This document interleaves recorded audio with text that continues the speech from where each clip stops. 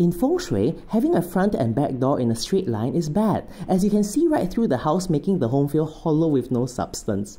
Okay, I'm going to draw this so you can see how bad it looks, especially if the back door has little windows drawing your eyes straight out. If I say you can make structural changes, what would you do? Even so, it feels impossible as you can't even add a wall to block it. Now the trick is to retain the gaze at the entry. Let me show you. So I'm going to shift this wall back to create a proper squarish foyer space. While the bedroom did shrink a little, it feels more luxurious with a walk-in closet and dressing up area, but more importantly, we now have this squarish foyer room with a nice round rug complete with console and art, which will pull and keep the energy here and stop you from focusing on the long straight hallway or the door behind. Don't believe? Let's return to our drawing and I'll show you how it looks. So we're pushing this wall back, creating a nice square foyer, adding a nice rug and chandelier, and you can see how effective it is in making us forget about the long hallway and creating a very impressive entrance fit for the house. So now you know!